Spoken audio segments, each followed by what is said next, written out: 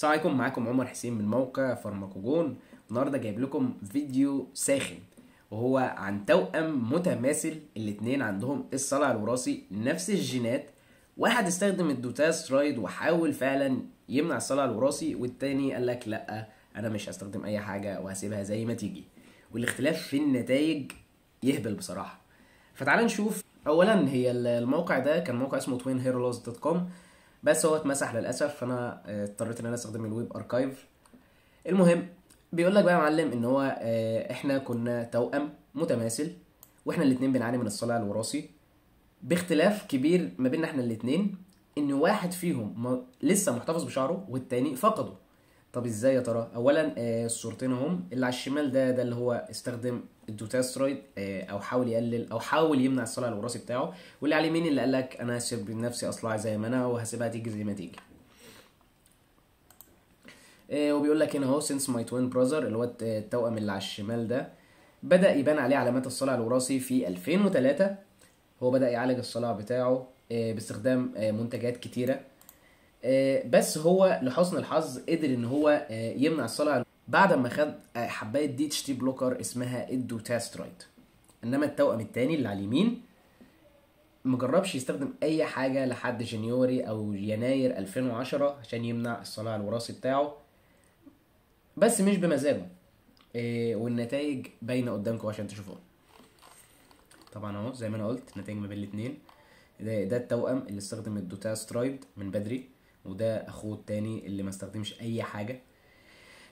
ده برضو آه، صورة من قدام للتوأم اللي استخدم ال dutasteride وده التوأم اللي ساب نفسه صلع وهنا صور ليهم هم أطفال. هتلاحظ إن هم يعتبر عندهم كثافة شعر متشابهة جدا في كل مراحل الطفولة.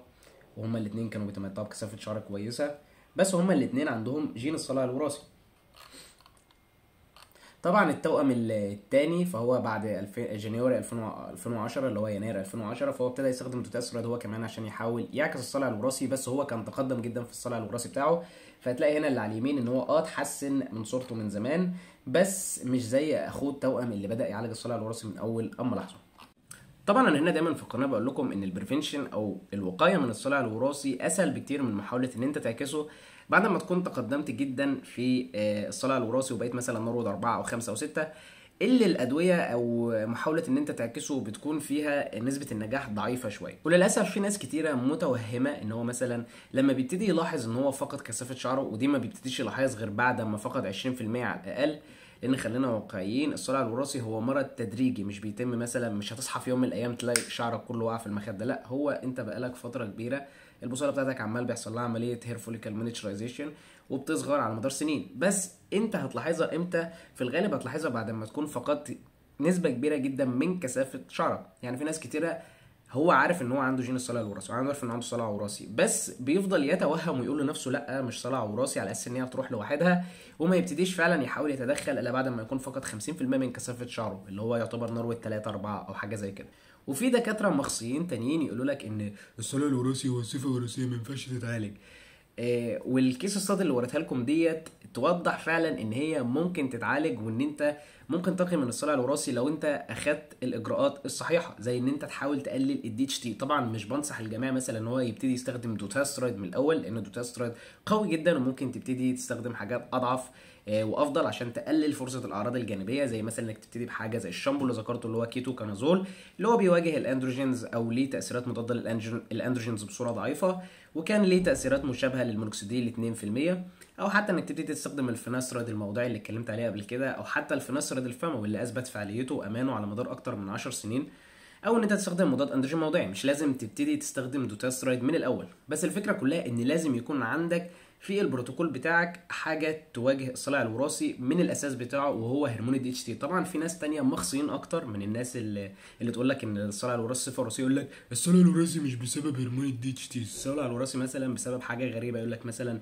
ال scalp tension وشكل جمجمتك أو إن الصلع الوراثي بسبب نقص فيتامينات معينة أو الصلع الوراثي بسبب نقص الدورة الدموية. هي آه الحاجات دي ممكن مثلا تكون جزء من إزاي الصلع الوراثي بيحصل بس هي مش الأساس.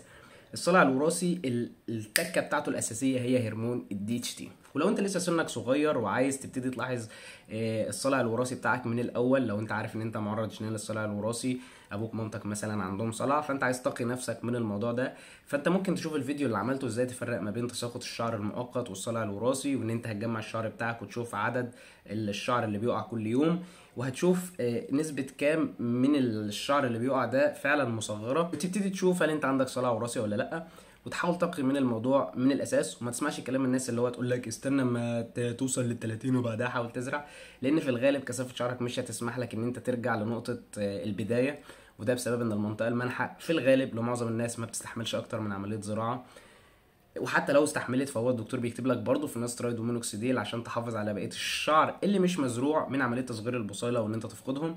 فكده كده هتستخدم أدوية. فابتدي من الأول وابتدي دايما بأقل حاجة ممكنة من حيث الأعراض الجانبية وبرده من حيث القوة زي مثلا شامبو كيتاكونازول. أو ال finasteride الموضعي أو ال finasteride مش لازم تلجأ للبروتوكولات التقيلة على طول كده زي ال dutasteride وغيرها. بس كده حبيت الفيديو يكون قصير ما تنساش تعمل subscribe للقناة و like و share الفيديو. وزور الموقع الإلكتروني لو حابب استشارة إلكترونية أو متابعة اونلاين وأشوفكم في الفيديوهات الجاية.